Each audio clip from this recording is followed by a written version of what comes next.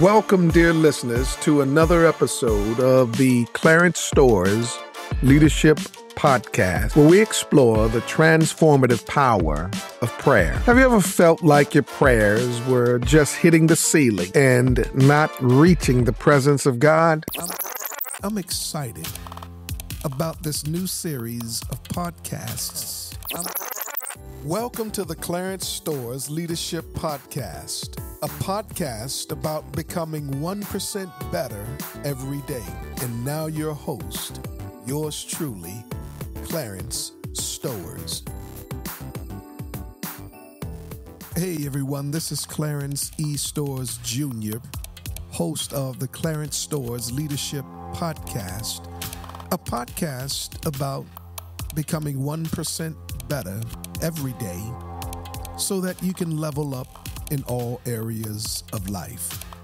And I'm excited about this new series of podcasts. For those who are listening, know or may not know, I am a pastor. I pastor the Mars Hill Baptist Church of Chicago. We call ourselves Mars Hill Anywhere. And that's reflected in our digital approach, in the revamping of our church app. And that app we nicknamed Church in Your Pocket. From there, you can access our sermons, our teachings, our calendar, and Bible reading, and be kept abreast as to what's happening in and around Mars Hill. The interviews I've scheduled have been on point, real, relevant, and raw. You're going to hear from some incredible leaders, both within the church as well as outside, to share their perspective on how we navigate not our new normal, but as Thom Rainer says, our new reality. Hello, and welcome to the Clarence Stowers Leadership Podcast, where we focus on practical insights and inspiring stories to help you grow spiritually, professionally, and personally. I'm Clarence E. Stowers Jr., and I'm thrilled to have you join me today. In today's podcast, we dive into a variety of topics designed to empower you on your journey of faith, uh, professionalism, and perhaps leadership. Whether you're navigating the challenges of your personal life, seeking deeper spiritual growth, or simply looking for encouragement, this podcast is here to support you in every step of the way. In each uh, segment of this episode, we will explore real life stories, practical advice that you can apply directly uh, to your daily life. And uh, we emphasize the importance of, of integrating faith in our busy lives. I understand that balancing work, family, and uh, personal growth can be challenging. That's why I am excited to offer you a special resource that's complements of this podcast, my free ebook, Faith on the Fly, a practical guide to spiritual growth for busy professionals. Now, this ebook is packed with practical tips and strategies to help you grow spiritually, even with the hectic schedule. It's designed to be a quick and easy read, offering insights that you can implement right away. Whether you're looking to deepen your prayer life, find more time for reflection, or simply stay connected to your faith throughout the week, Faith on the Fly has got you covered. To get this free ebook, to get your free copy of this ebook, simply check today's show notes. That's it. It's my gift to you as a token of appreciation for being a part of our podcast community. Welcome, dear listeners, to another episode of the Clarence Stowers Leadership Podcast, where we explore the transformative power of prayer. Have you ever felt like your prayers were just hitting the ceiling and not reaching the presence of God?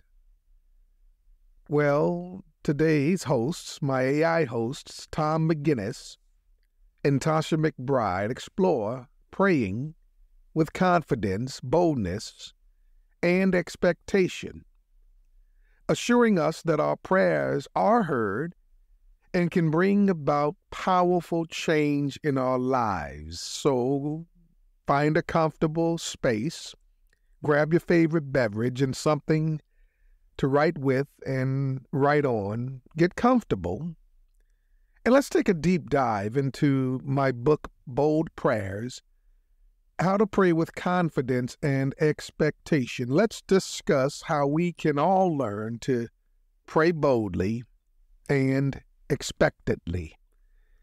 Let's go inside. Ever feel like your prayers are just hitting the ceiling? Like you're talking, but not really being heard? Yeah. Today we're diving into bold prayers, how to pray with confidence and expectation.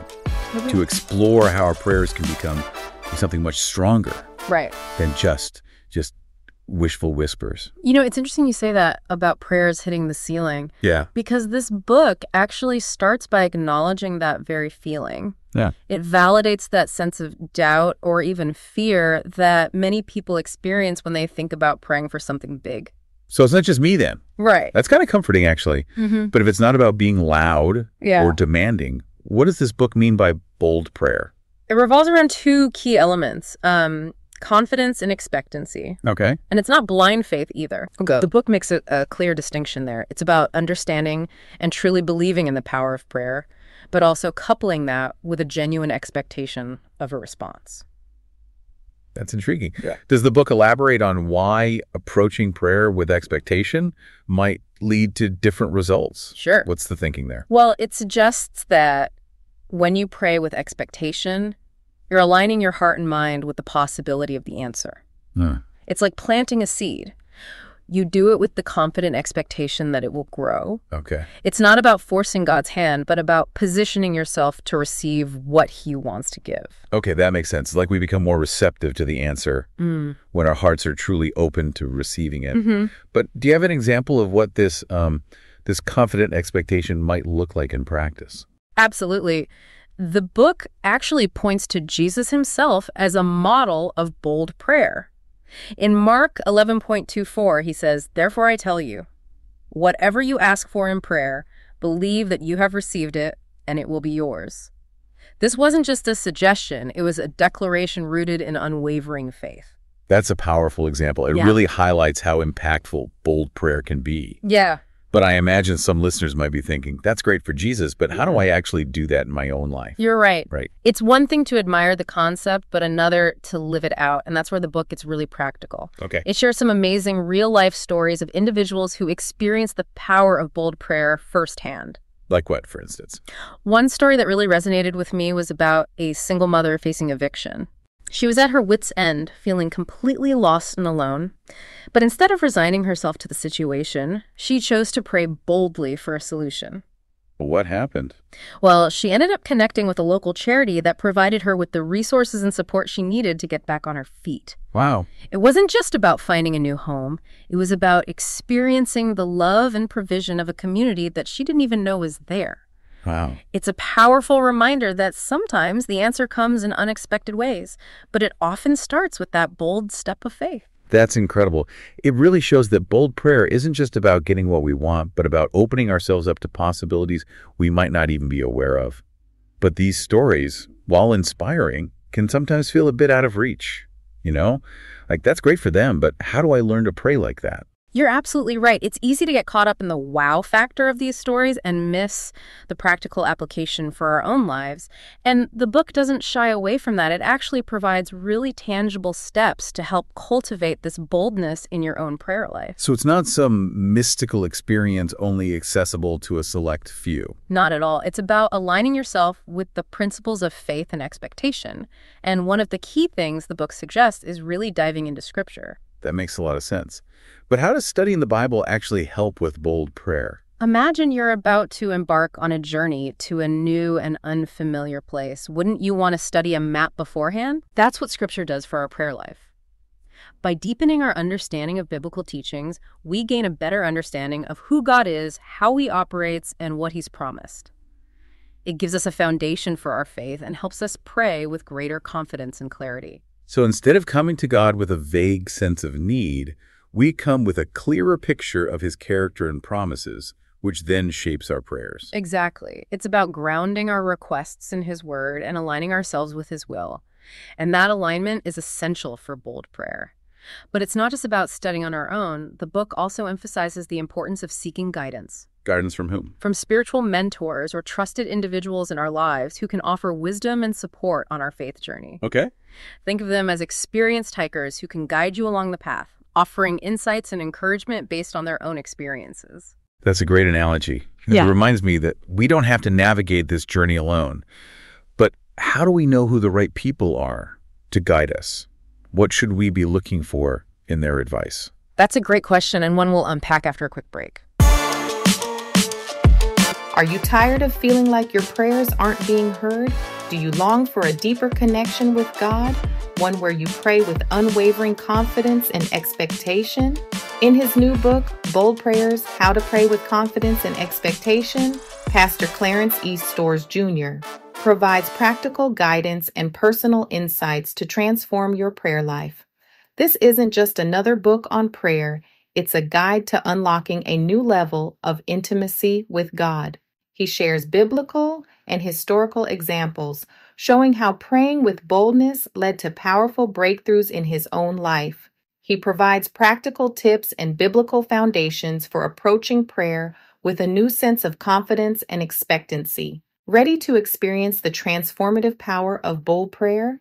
Visit Amazon today and order your copy of Bold Prayers. It's time to stop whispering your prayers and start boldly declaring them, knowing that God is listening and eager to answer. We'll be right back with more on how to strengthen your prayer life on the Clarence Stowers Leadership Podcast. So before the break, we were talking about the importance of seeking guidance from spiritual mentors. Right. I think this is something a lot of people, myself included, might struggle with. Sure. How do we know who the right people are to guide us in our prayer journey? Yeah. What should we be looking for in their advice? You're right. It's a crucial aspect of spiritual growth, but can feel daunting. Yeah. Think about it this way. When you're looking for guidance in any area of life, you probably wouldn't just ask anyone. Right? You'd seek out someone with experience, wisdom, and whose values resonate with yours. So in this case, it would be someone who has a strong prayer life themselves. Yeah. Someone who has walked the path and can offer insights based on their own experiences. Precisely. Okay. Look for people who embody the qualities you aspire to in your own prayer life. Okay. Individuals who radiate faith, who demonstrate humility and compassion, and who are committed to their own spiritual growth. That makes sense. Yeah. And what about their advice? Sure. How do we know if it's sound advice? Always weigh their guidance against the teachings of Scripture. Okay. Does it align with the character of God and His promises? Does it point you towards a deeper relationship with Him? So it's not just about blindly accepting what someone tells us, Right. But using our own discernment Yeah. and testing it against the foundation of our faith. Absolutely. A good spiritual mentor will encourage your own exploration of faith, not try to dictate your journey. Mm-hmm. They'll empower you to hear God's voice for yourself. That's reassuring. Yeah. It's not about finding someone with all the answers, but someone who can walk alongside us and help us find those answers Hmm. within ourselves. Mm-hmm. And speaking of finding answers within ourselves, the book also talks about the importance of cultivating gratitude. Yes. Gratitude is so powerful. Yeah. It shifts our perspective from a place of lack to a place of abundance. Can you elaborate on that? How does being grateful actually impact our prayers? Well, imagine going to God with a laundry list of needs, Mhm. constantly focused on what you're lacking. Yeah. It can create a sense of desperation, almost like you're trying to bargain with him. But when you approach him with a heart full of gratitude, acknowledging all the blessings he's already poured into your life, it changes the entire dynamic. It's like instead of coming from a place of, I need, we come from a place of, thank you. Exactly. Oh, okay. It's about recognizing that he's already giving, already loving, already working in our lives. Mm. And that recognition fosters a spirit of humility and trust, which are essential for bold prayer. That's a beautiful way to put it. Yeah. It's about shifting our focus from what we don't have to what we do have. Right. And recognizing that even in the midst of challenges, there's always something to be grateful for. Precisely. Yeah. And that shift in perspective can be incredibly empowering. Okay. It allows us to approach prayer not as beggars, but as beloved children coming to a generous Father. Now, one thing that really struck me about this book was its emphasis on prayer as a partnership with God. Mm-hmm. It's not just a one-way street where we're sending requests up to heaven and hoping for the best. That's such a crucial point. The book really emphasizes that collaborative aspect of prayer, oh. encouraging us to move beyond simply presenting a wish list and hoping for the best. So how do we practically cultivate that sense of partnership in our prayer life? Right. How do we move beyond just talking at God and actually engage in a dialogue? It begins with recognizing God as an active participant in our lives, not some distant entity we only engage with during formal prayer times. Okay. It's about inviting him into the everyday moments, seeking his guidance in our decisions, and being open to his whispers of wisdom throughout the day. So it's about recognizing that he's present and active, even when we don't see immediate or tangible answers to our prayers. Absolutely. Okay. It's about trusting that he's working behind the scenes, even when we don't understand the how or the why. That could be tough, though, right? Sure. Especially when we're facing difficult situations or when it feels like our prayers aren't being answered the way we want. Mm-hmm. How do we maintain that sense of partnership when doubt creeps in? It's certainly not always easy, and the book acknowledges that. Yeah. It emphasizes that doubt is a normal part of the journey, not a sign of weakness. Okay, Remember, even Jesus' disciples struggled with doubt at times. that's true. Yeah. So, how do we move through that doubt Yeah. and maintain that sense of trust and partnership with God? One practical step is to simply acknowledge the doubt. Don't try to suppress it or pretend it's not there. Bring it to God honestly and openly. So, it's okay to say, God, I'm struggling to trust you right now. Absolutely. He can Yeah. handle our honesty. Okay. In fact, he welcomes it. Okay. Another thing that can be helpful is to remind yourself of his faithfulness in the past. like looking back at times when he answered our prayers or provided for us in unexpected ways. Exactly. Okay. Those memories can serve as anchors for our faith when we're feeling tossed about by doubt. Right. And don't underestimate the power of community. Yeah. Surround yourself with other believers who can offer support and encouragement when your faith feels shaky. It's like having a prayer support system. People who can remind us of God's goodness and faithfulness when we're struggling to see it ourselves. Mm. That's such a powerful reminder. Yeah. But I'm also curious when we talk about prayer as a partnership, does it mean our prayers should always align with what we think God wants? Right. What if our desires and his plans are at odds? That's a really insightful question and gets to the heart of what it means to surrender to his will. Right. And that's something we can delve into further after a short break. So before the break, we were talking about aligning our desires with God's will, Right. which feels like a huge key part of this partnership idea. Mm-hmm. But what happens when you feel a deep longing for something? You're praying for it with confidence and expectation. Right. But it seems like God's saying, not now, Yeah. or even no. Right. How do you reconcile that with this whole idea of bold prayer? That's a question many people grapple with, and the book offers a really insightful perspective. It suggests that sometimes our boldest prayers aren't about getting a specific outcome, Okay. but about surrendering our own will to make space for God's. So it's not about trying to bend God's will to fit our desires, Right. but about aligning our desires with His. Exactly. Oh. It's about recognizing that He sees the bigger picture, the intricate tapestry of our lives, in a way that we simply can't. Okay. And sometimes what we think we want might not be what's best for us in the grand scheme of things. That's a humbling thought, but it makes sense. Yeah. We might be praying for a door to open when God is actually preparing us for something even greater. Right. Something we haven't even imagined. Precisely. Yeah. And that's where the transformative power of prayer really shines through. It's not just about changing our circumstances, but about allowing those circumstances to change us. So it's not just about getting what we want, but about becoming who we're meant to be. Mm-hmm. That reminds me earlier we talked about the book discussing transformation through prayer. Yeah. What does that look like exactly? It's a process of spiritual growth and refinement that happens as we surrender our will to God's. Right. Think about it like this. Mhm. When you work with a skilled potter, okay. you allow them to mold the clay, even if it means applying pressure or reshaping it in ways you might not initially understand. Because the potter knows the final form they're working towards, Yeah. even if we don't. Exactly.